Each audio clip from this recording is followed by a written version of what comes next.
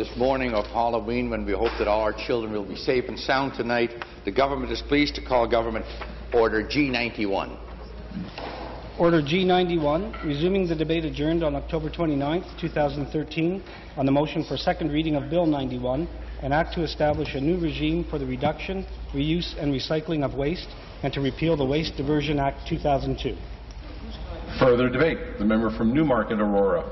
Speaker, thank you. And uh, on this Halloween day, it's my pleasure to speak to this bill, which uh, is full of tricks uh, on the part of the government.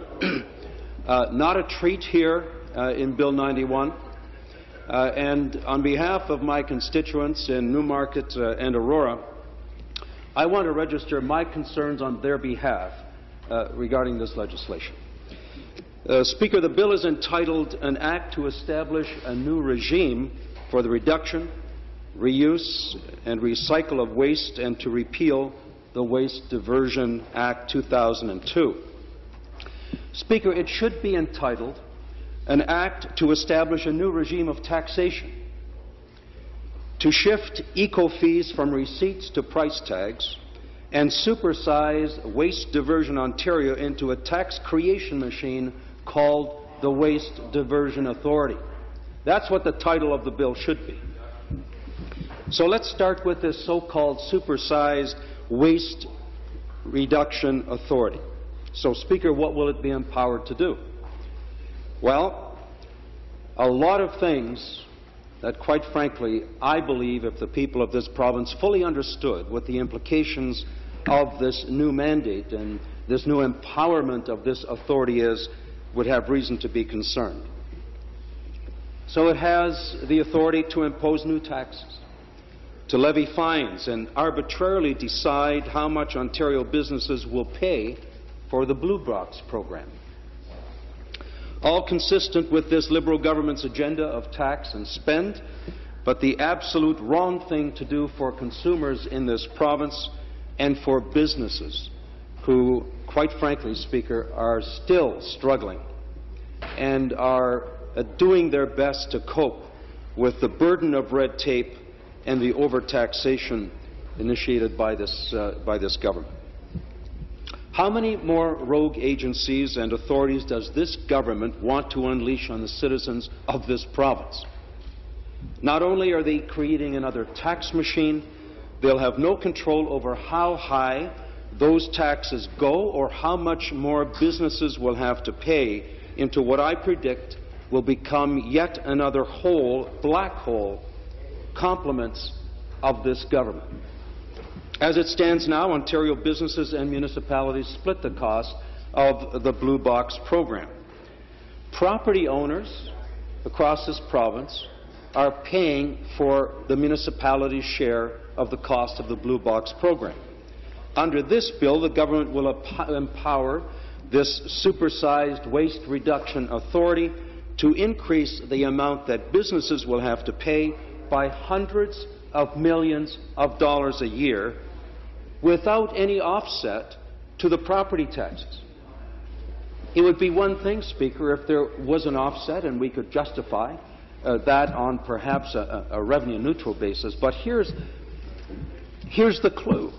The fact that there is no offset on the one side, the fact that the, this uh, new authority is going to be uh, empowered to increase by hundreds of millions of dollars.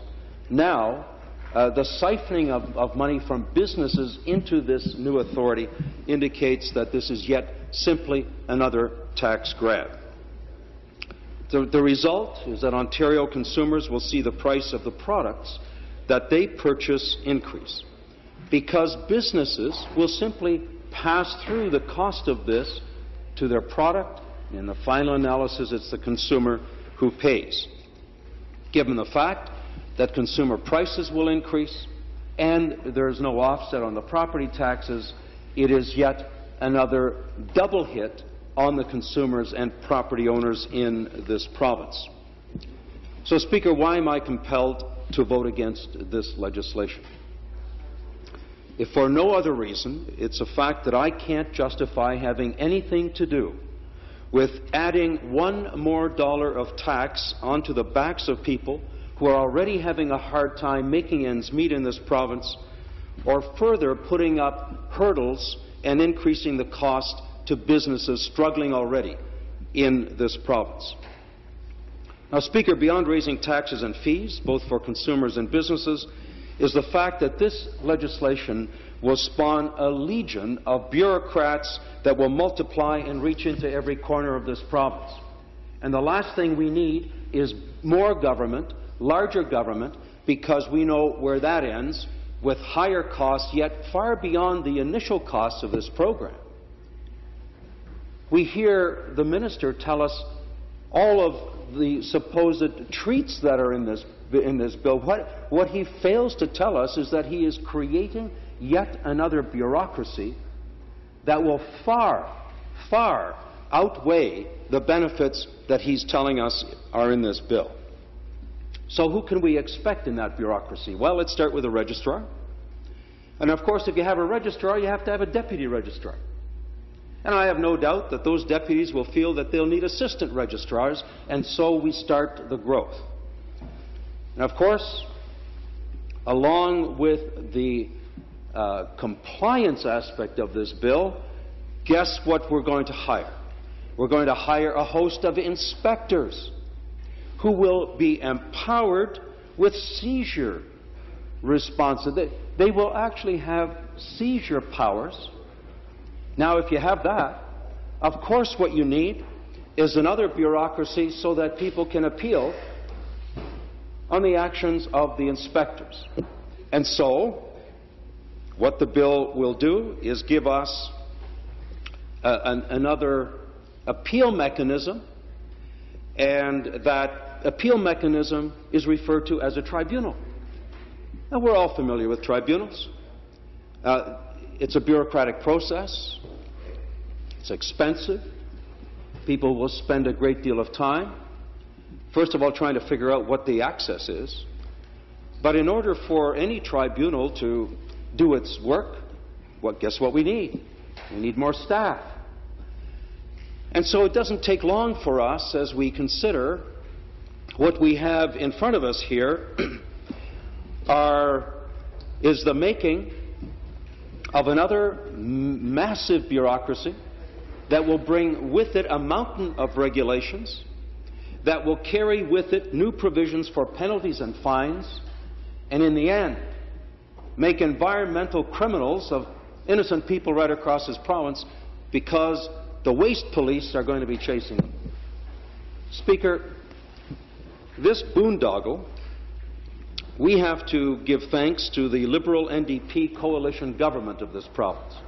I have no doubt that uh, the New Democrats will be supporting this bill, uh, as they have been supporting most other bills. And, and, you know, I believe the people of this province are waking up to the fact that we do not have a Liberal minority government. We have a Liberal NDP coalition government in this province. That's what we have. And if they would only, if they would only be willing to tell us that. The truth of the matter is that there isn't, you know, it's ironic. The member from Essex stood up in the House just the other day and eloquently, eloquently boasted uh, about uh, how incredibly proud he is to be a member of the NDP uh, party. And, you know, God bless you for having that pride. But what he doesn't tell us is that he has to also take along with that pride the shame of being part of a caucus that boosts and has propped up this government that, in our opinion, and I believe in the opinion of the vast majority of Ontarians, has lost the moral authority to be the government in this province. And so, When the people of this province start to look at the cost of this bill, let alone all of the other legislation and, and regulations that uh, we have to pay for, when they start to go to the cash register and when they start to see the increasing bills and when they find it difficult, even more difficult, to make ends meet at the end of the day, I want to remind them that that will be compliments of the Liberal NDP coalition government that we have in this province today. And Speaker, I believe that the day of rec- reckoning will come. And it's not just about this waste management bill, it's about the waste that people have seen of their tax dollars. Thanks to the Liberal NDP coalition government of the province of Ontario. Thank you, Speaker. but don't have the programs in place to participate, but this will maybe give them an opportunity to participate. Thank you Mr. very Speaker. much. Further debate? Oh, sorry, two-minute response by the member for Newmarket Aurora. Thank you, Speaker. Uh, In, you know, in response to the member from Algoma, Manitoulin, I would suggest that we need a fourth R, and the fourth R would be recovery, and recovery from the mess that this government has put us into, thanks to the support of the NDP. But, Speaker, I, I, I want to just say this. I, it, it, it's interesting how this government can take a good idea and bungle it, it through implementation. Because what we're concerned about is the massive bureaucracy that is being constructed under the guise of a good intention. This government could not find a file that it can't bungle up. And so, with something as well intentioned as recycling, they've done it again. And it'll be a multi million dollar, if not billion dollar, boondoggle. Why did the government not take the proposal put forward more than a year ago by the PC caucus. That plan has as a starting point the scrapping of each and every eco fee foisted on this government, uh, on the people of Ontario by this government. We would get rid of the out of control, costly bureaucracies that have been established by this government and put control back into the Ministry of the Environment where it should be, where there's also accountability.